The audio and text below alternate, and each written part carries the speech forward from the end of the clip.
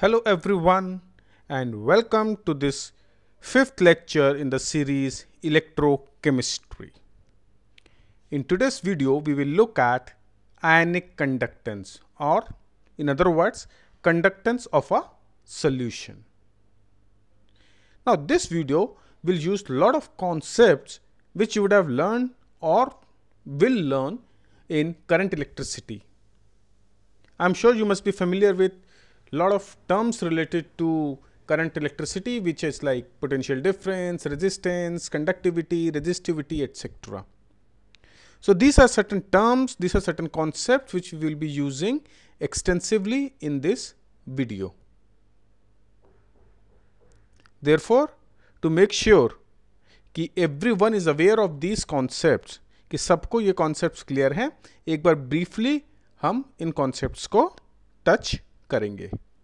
So let start with the topic ionic conductance तो जो कुछ की टर्म्स जो हम लोग यूज़ करने वाले हैं in this video are resistance conductance resistivity and conductivity इसमें से कुछ आपने पहली क्लासों में पढ़े हुए होंगे, कुछ नहीं पढ़े होंगे बट एक एक करके हम इन चारों टर्म्स को एक बार अंडरस्टैंड कर लेते हैं। So let's start by understanding what resistance is. Now resistance is basically the property of conductor by which it opposes the current flow in circuit.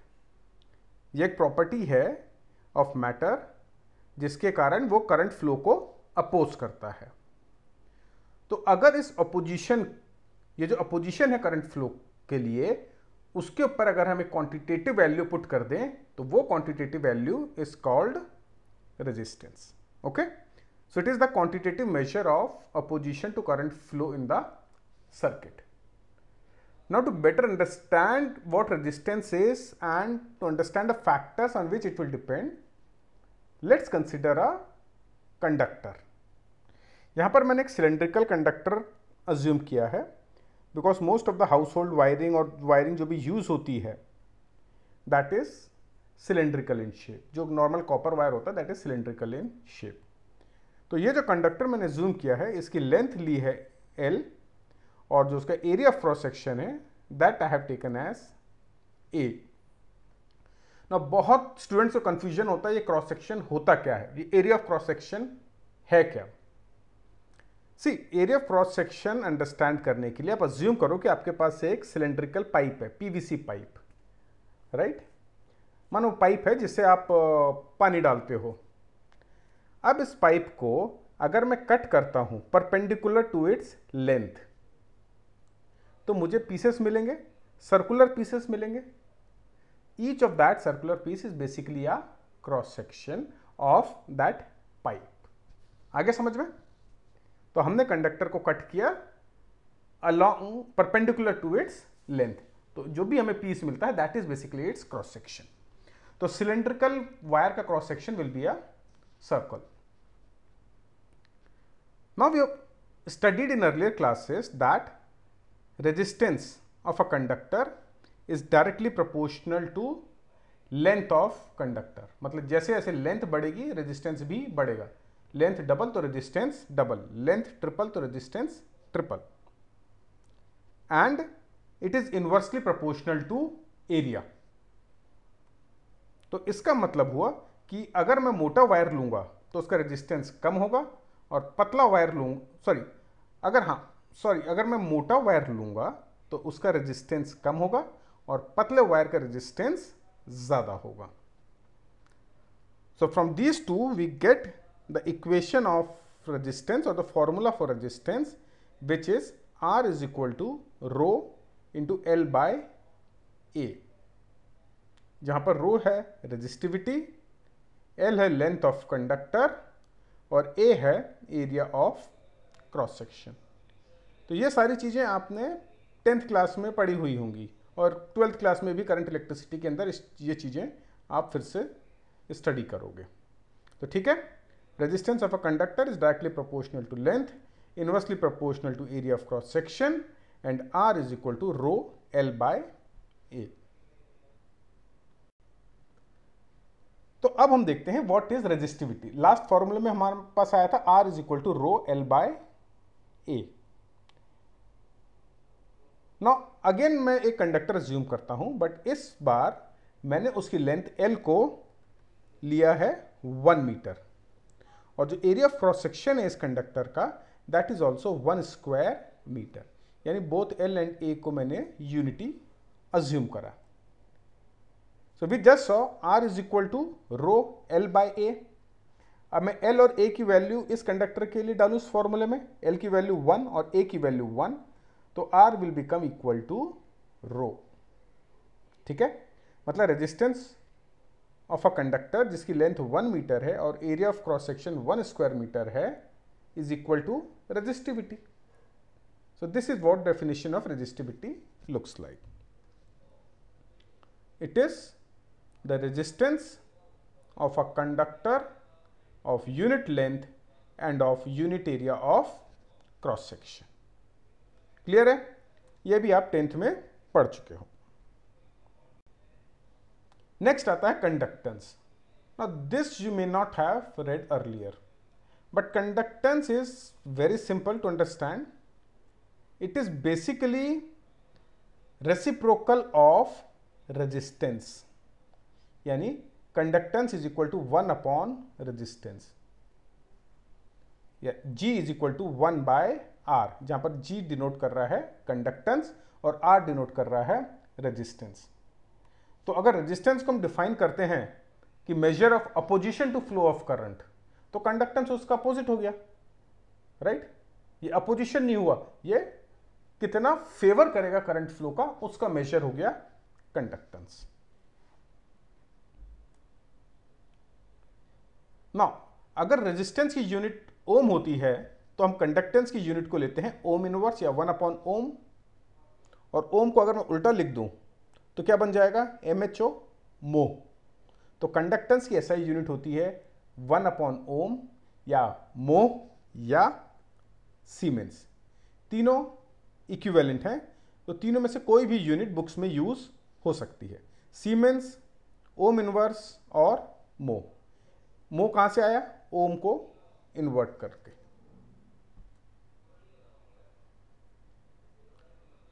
Now conductance is denoted by G ठीक है? तो मेरा हो गया G is equal to one upon R अब मैं R का formula डाल दू यहाँ पर रो एल बाय ए तो जी क्या हो जाएगा? A upon L upon rho ठीक है? So this is the formula for conductance और वन अपॉन रो को मैं लिखता हूँ।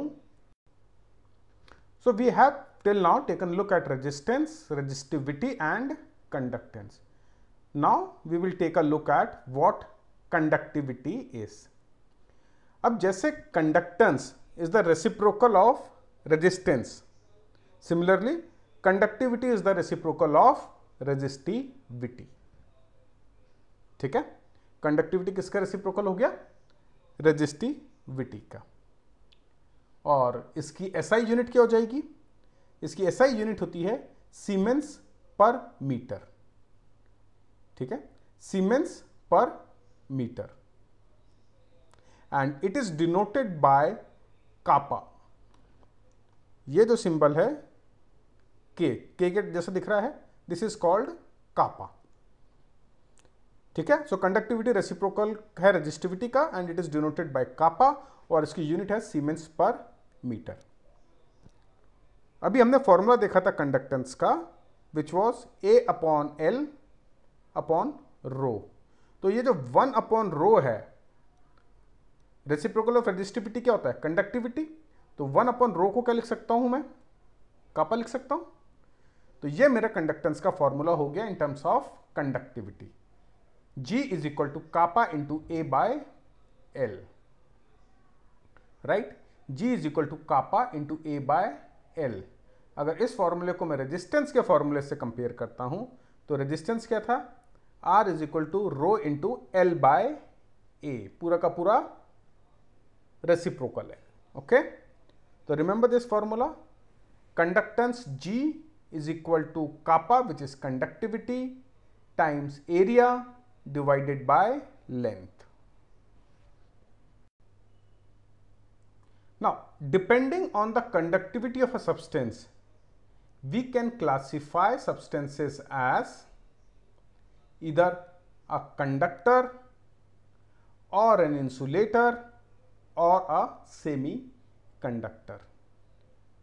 जो भी सब्सटेंस अच्छा कंडक्टर होगा उसकी कंडक्टिविटी की वैल्यू ज़्यादा होगी इंसुलेटर की कंडक्टिविटी की वैल्यू बहुत कम होगी और सेमी कंडक्टर्स के लिए कंडक्टिविटी की वैल्यू कंडक्टर्स और इंसुलेटर्स के बीच में होगी high conductivity low conductivity insulator and moderate conductivity means semiconductors ना इस वीडियो में हम कंडक्टर्स के बारे में रीड करेंगे। ना conductors are of two types metallic conductors and electrolytic conductors electrolytic conductors में कंडक्टेंस जो होती है या फ्लो ऑफ़ करंट जो है that is due to flow of ions versus metallic conductors के अंदर conductivity is due to flow of electrons जैसे कॉपर वायर के थ्रू अगर कॉपर वायर भी से इज़ अ गुड कंडक्टर तो ये जो कॉपर की कंडक्टिविटी है that is due to presence of free electrons और ये फ्री इलेक्ट्रॉन जब फ्लो करते हैं तो करंट प्रोड्यूस होता है. Versus in case of electrolyte electrolyte और इन केस ऑफ़ सोल्यूशन ये जो कंडक्टेंस है, ये करंट फ्लो हो रहा है that is due to flow of ions ठीक है? डिफरेंस क्लियर है? Metallic conductor due to electrons electrolytic conductor conductance is due to flow of ions तो ये जो हमारा टॉपिक है केमिस्ट्री के अंदर that deals with electrolytic conductance जो मेटेलिक कंडक्टेंस है that you will study in physics ठीक है? तो कंडक्टर का metallic conductor part is part of physics and electrolytic conductance is part of chemistry so now we will focus our attention on electrolytic conductance so now having taken a look at general meaning of key terms we will look specifically at conductance of electrolytic solution ठीक है? अभी तक हमने conductance resistance general terms में पढ़ा था but now we will specifically look at conductance and conductivity in relation to solutions electrolytic conductance को हम आयनिक कंडक्टेंस भी बोलते हैं तो let's try and understand what do we mean by electrolytic और ionic conductance. Now, conductance of electricity by ions present in the solution is called electrolytic conductance. यानी जब electricity conduct हो रही है in solution due to presence of ions तो इस चीज़ को हम बोलते हैं इलेक्ट्रोलिटिक कंडक्टेंस आपने देखा था इलेक्ट्रोलिटिक सेल उसके अंदर जब हमने सेल को कनेक्ट करते हैं तो करंट फ्लो करता है थ्रू द इलेक्ट्रोलाइट पूरा सर्किट कंप्लीट होता है right so that conductance is basically electrolytic conductance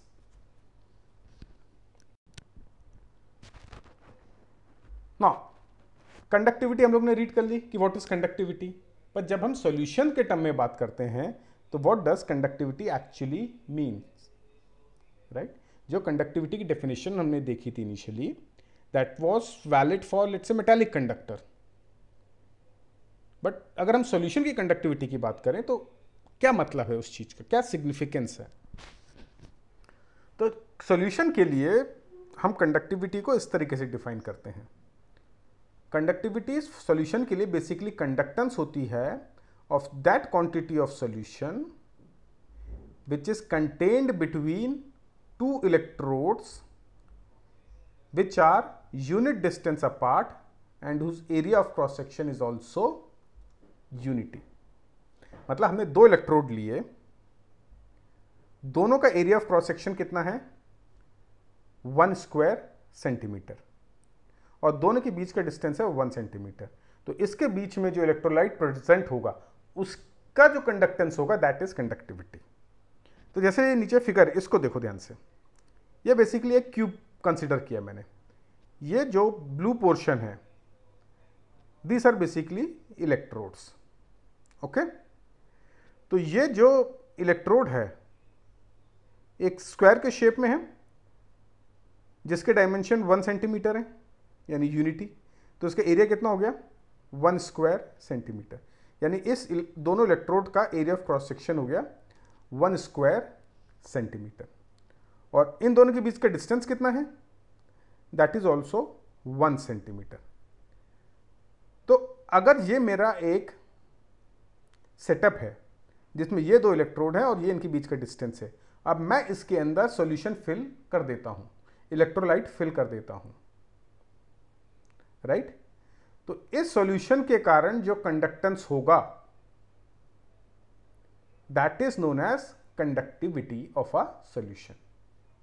और in other words it is the conductance of unit volume of a solution इसका वॉल्यूम वन यूनिट ही होगा। Area one square centimetre height one centimetre तो volume one cubic centimetre so conductivity can be defined as conductance of unit volume of a solution strict definition क्या है? It is the conductance of a solution solution contained within two electrodes which are unit distance apart and whose area of cross section is unity. Clear? Great. Now we will take a look at the factors on which conductance of a solution depends upon. कौन कौन से factor हैं जो solution के conductance को change कर सकते हैं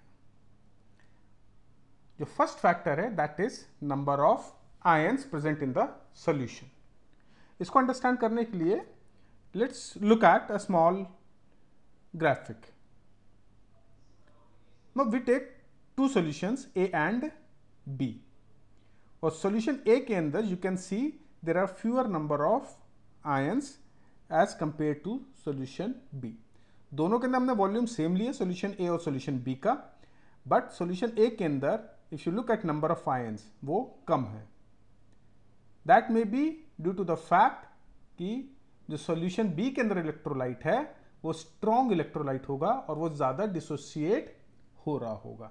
वो डिग्री ऑफ़ आयनाइजेशन उसकी ज़्यादा होगी। तो क्योंकि सॉल्यूशन बी के अंदर नंबर ऑफ़ आयंस ज़्यादा है कॉन्सेंट्रेशन ऑफ़ आयन ज़्यादा है it will have greater conductance important है कि आप नोट करो, मैं यूज़ कर रहा हूँ वर्ड कॉन्सेंट्रेशन ऑफ़ आयंस मैंने concentration of electrolyte word use नहीं किया है। दोनों में डिफरेंस है। कॉन्सेंट्रेशन ऑफ़ इलेक्ट्रोलाइट दो सॉल्यूशन दो इलेक्ट्रोलाइट का सेम हो सकता है बट डिपेंडिंग अपॉन कि कौन कितना आयोनाइज हो रहा है कॉन्सेंट्रेशन ऑफ़ आयंस डिफरेंट हो सकता है। जैसे मैं let say one molar hydrochloric acid लेता हूँ और वन मोलर एसिटिक एसिड लेता हूँ। अब मुझे पता hydrochloric acid almost hundred percent ionise होगा तो मुझे वन मोलर आयंस का कॉन्सेंट्रेशन मिल जाएगा जबकि एसिटिक एसिड कम आयनाइज होगा तो उसके अंदर आयंस का कॉन्सेंट्रेशन कम होगा तो इसलिए इंपॉर्टेंट है कि आप नोट करो what is important is concentration of ions तो क्योंकि concentration of ions is more in B B, for B will have greater conductance. Clear है? Now, next factor is mobility of ions. When I say mobility of ions, I mean कि वो कितने easily और कितने speed से move कर रहे हैं सॉल्यूशन के अंदर। Again take a look at the graphic below you can see कि सॉल्यूशन बी के अंदर आयंस की मोबिलिटी ज़्यादा है।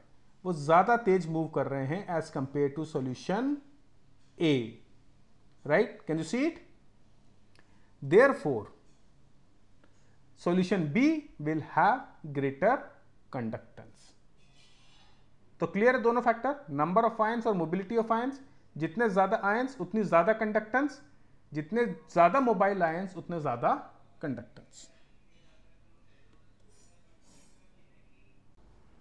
So now we know that conductance of a solution will depend on number of ions and their mobility. अब हम देखेंगे उन फैक्टर्स को जो नंबर ऑफ़ आयंस या मोबिलिटी ऑफ़ आयंस को इंपैक्ट करते हैं। तो जो पहला फैक्टर है that is nature of solvent and its viscosity second factor is size of ions and solvation third temperature fourth, nature of electrolyte, and fifth concentration of solution तो ये पाँच फैक्टर्स हैं जो कंडक्टेंस ऑफ़ अ सॉल्यूशन को impact करेंगे। किस तरीके से? जो तुम्हारे पहले तीन फैक्टर है nature of solvent viscosity size of ions and solvation और टेम्परेचर ये आयंस की मोबिलिटी को इंपैक्ट करते हैं। और जो नीचे के दो फैक्टर है nature of electrolyte and concentration of solution along with temperature ये इंपैक्ट करते हैं नंबर ऑफ़ आयंस को। तो ये पाँच फैक्टर मोबिलिटी और कॉन्सेंट्रेशन ऑफ़ आयंस के ऊपर इंपैक्ट करते हैं, जिसके कारण आयनिक कंडक्टेंस चेंज होगी। So now we will look at each of this factor तो सबसे पहले nature of solvent and its viscosity viscosity का क्या मतलब होता है? कि सॉल्यूशन कितना गाढ़ा है। जैसे वाटर की विस्कोसिटी कम है हनी की विस्कोसिटी ज़्यादा है। हनी में किसी भी चीज़ का मूव करना मुश्किल होगा वाटर में मूव करना रिलेटिवली ईजी होगा। सेम चीज़ आयंस के लिए होल्ड करेगी। Ions will find it hard to move in a viscous solvent तो अगर विस्कोसिटी सॉल्वेंट की ज़्यादा होगी तो ions will find it hard to move यानी इसकी मोबिलिटी कम हो जाएगी और कंडक्टिविटी भी कम हो जाएगी। क्लियर तो greater viscosity lower mobility lower conductivity next size of ions and solvation जितना बड़ा आयन होगा, उतनी कम उसकी मोबिलिटी होगी। स्मॉलर आयन छोटा आयन ग्रेटर मोबिलिटी ठीक है? भाई, ऐसे याद रख लो, कोई भीड़ भाड़ भरा, भीड़ भाड़ भरी जगह हो। एक मोटा आदमी जा रहा हो, उसमें से एक पतला आदमी जा रहा हो। पतला आदमी तो निकल जाएगा इधर उधर होकर। मोटा आदमी नहीं निकल पाएगा। Similarly Bigger ions will find it difficult to move, smaller ions will move easily. यही रीज़न है कि सोडियम आयन की मोबिलिटी सीसीएम आयन से ज़्यादा है क्योंकि सोडियम आयन का साइज़ छोटा है सीसीएम आयन का बड़ा होगा। सेम ग्रुप में सीसीएम आयन सबसे नीचे है सोडियम आयन ऊपर रहता है। रिलेटेड फैक्टर है सॉल्वेशन सॉल्वेशन का मतलब होता है कि जो हमारा सोल्यूट का मॉलिक्यूल है, या इलेक्ट्रोलाइट का आयन है सॉरी उसके आसपास सॉल्वेंट के कितने मॉलिक्यूल्स उसको सराउंड कर रहे हैं। ज़्यादा मॉलिक्यूल सराउंड करेंगे तो इफ़ेक्टिव साइज़ आयन का बढ़ जाएगा, और इफ़ेक्टिव साइज़ बढ़ गया तो it will find it difficult to move right तो लिथियम आयन उसका साइज़ सबसे छोटा होता है इन ग्रुप वन तो सीसीएम आयन का सबसे बड़ा होता है। पर फिर भी लिथियम आयन की मोबिलिटी सबसे कम है, क्योंकि लिथियम आयन के अंदर डिग्री ऑफ़ सॉल्वेशन बहुत ज़्यादा होता है तो उसका इफ़ेक्टिव साइज़ बढ़ जाता है।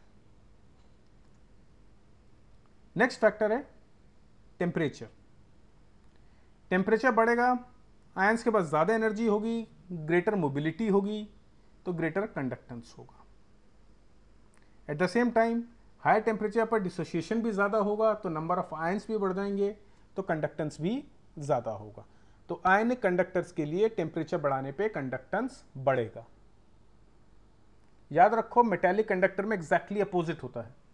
मेटेलिक कंडक्टर में टेम्परेचर बढ़ाने पे रेजिस्टेंस बढ़ता है और कंडक्टेंस कम होता है। ये आप फिजिक्स में पढ़ोगे, जब आप करंट इलेक्ट्रिसिटी पढ़ रहे होगे। बस याद रखो मेटालिक कंडक्टर में टेम्परेचर बढ़ाने पे कंडक्टेंस कम होगा आयनिक कंडक्टर्स में टेम्परेचर बढ़ाने पे कंडक्टेंस बढ़ेगा। Fourth factor nature of electrolyte ये हम डिस्कस कर चुके हैं पहले भी। स्ट्रॉन्गर इलेक्ट्रोलाइट यानी ज़्यादा डिसोसिएट होगा, ज़्यादा आयनाइज होगा। अगर ज़्यादा डिसोसिएट होगा तो ज़्यादा आयंस देगा। ज़्यादा आयंस देगा तो उसका कंडक्टेंस बढ़ेगा। So stronger electrolyte will dissociate to a much greater extent and hence will show greater conductance.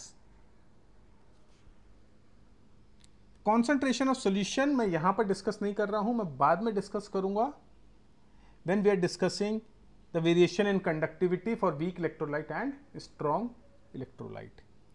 But in general अगर कॉन्सेंट्रेशन ऑफ़ आयंस बढ़ेगा तो कंडक्टेंस ऑफ़ सॉल्यूशन बढ़ेगा क्लियर है ये पाँचों factor nature of solvent viscous solvent mobility less बड़ा ion mobility less more solvated ion mobility less higher temperature higher mobility stronger electrolyte larger number of ions. तो अब तक हम लोग देख चुके हैं कि कंडक्टेंस किन किन फैक्टर्स पर डिपेंड करता है कंडक्टिविटी क्या होती है, और कंडक्टिविटी के कितने डिफरेंट तरीके से मेजर कर सकते हैं। Now we will look at how to measure conductance and conductivity of solution ठीक है? तो ये टॉपिक है कि कंडक्टेंस और कंडक्टिविटी ऑफ़ आयनिक सॉल्यूशंस को हम कैसे मेजर करें। मेटेलिक कंडक्टर का रेजिस्टेंस या कंडक्टेंस मेजर करना बहुत इजी है। It is most accurately measured using a stone bridge. किसी भी मेटेलिक कंडक्टर का रेजिस्टेंस हमें मेजर करना है तो बेस्ट तरीका जो होता है, वो होता है स्टोन ब्रिज यूज़ करके। विटस्टोन ब्रिज आप लोगों ने फिजिक्स में ऑलरेडी कवर कर लिया होगा।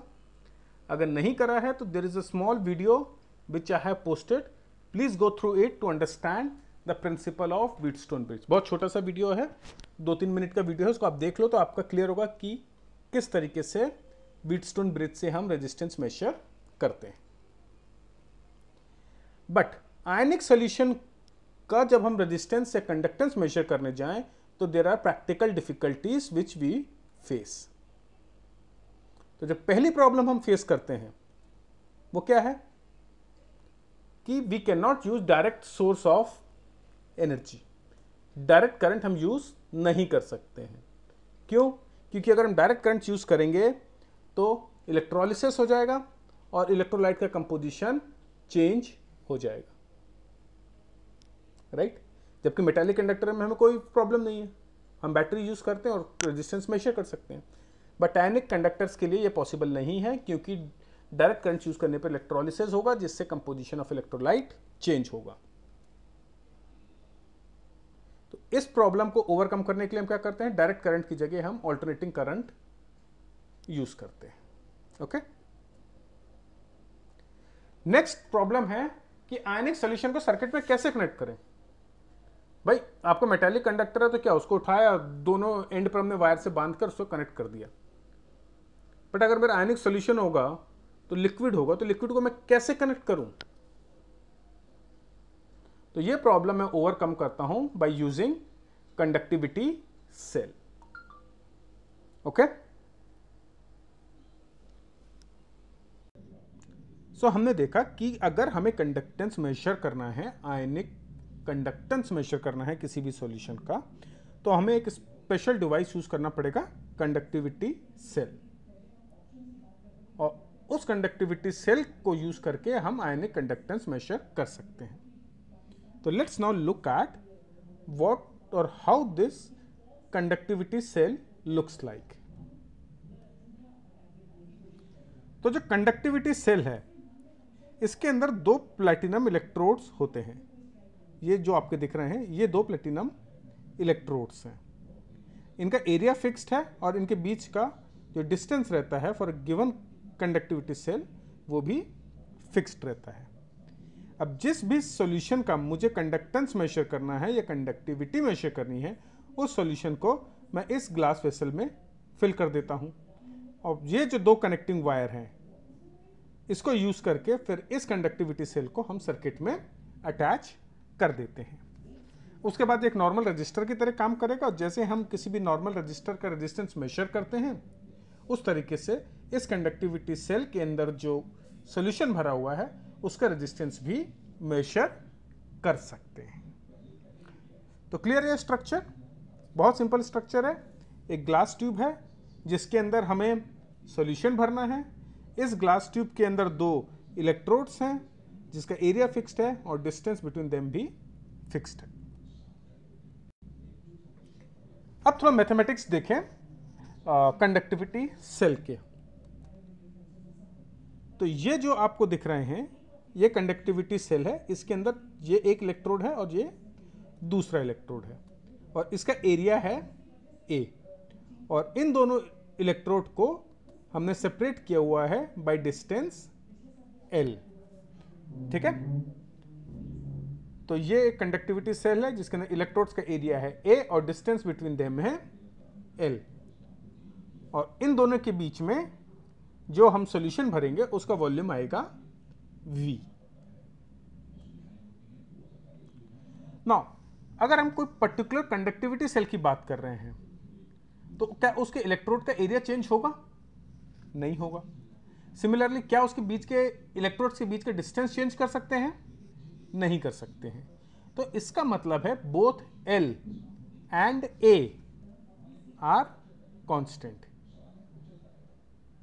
distance between electrodes और एरिया ऑफ़ इलेक्ट्रोड्स किसी भी गिवन कंडक्टिविटी सेल के लिए चेंज नहीं होगा। वो कांस्टेंट रहेगा। तो उसका मतलब है जो रेशियो है एल अपॉन ए वो भी कांस्टेंट रहता है फॉर गिवन कंडक्टिविटी सेल और इस कांस्टेंट रेशियो को हम बोलते हैं सेल कांस्टेंट और उसे डिनोट करते हैं जी स्टार से. क्लियर है सेल कांस्टेंट तो सेल कांस्टेंट रेशियो है एल बाय ए का. और ये कांस्टेंट रहता है फॉर गिवन कंडक्टिविटी सेल अब हमने कंडक्टेंस का फॉर्मूला देखा था इनिशियली वो क्या था? G is equal to kappa into A by L where kappa is conductivity, G is conductance.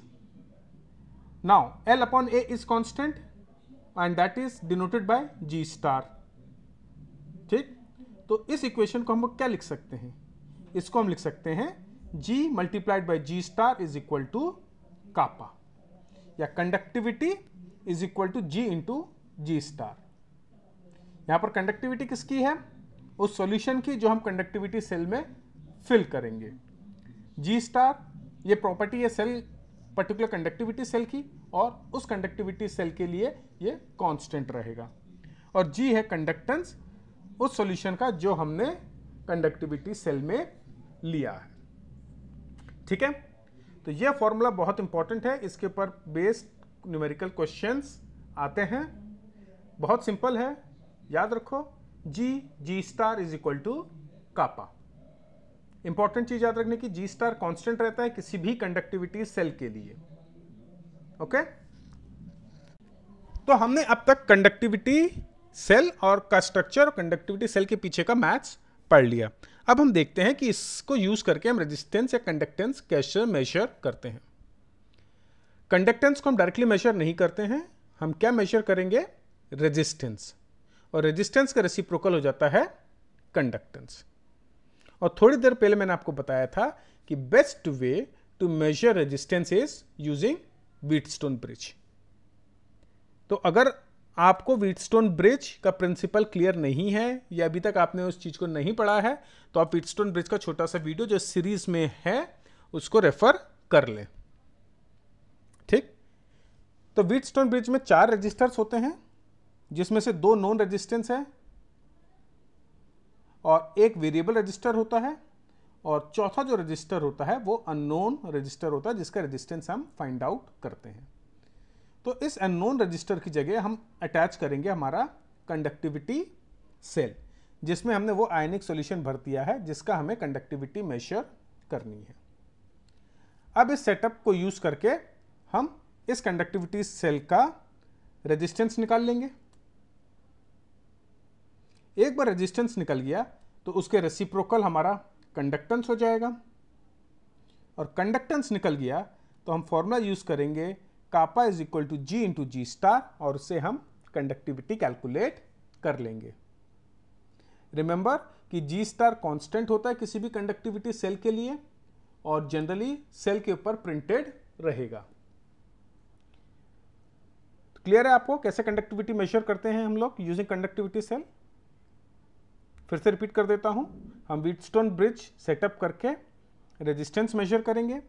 Resistance का रेसिप्रोकल कंडक्टेंस होगा और फिर फॉर्मूला यूज़ करेंगे kappa is equal to G into G star काफ़ी सिंपल है बट इंपॉर्टेंट है। इसके ऊपर न्यूमेरिकल्स जनरली आते हैं। सो so, क्लियर है आपको?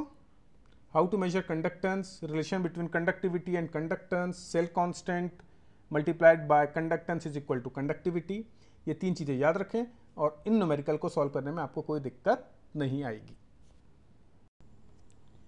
I will complete this video over here आज के वीडियो में हम लोग ने स्पेसिफिकली देखा कि कंडक्टेंस का मीनिंग फॉर अ सॉल्यूशन क्या होता है।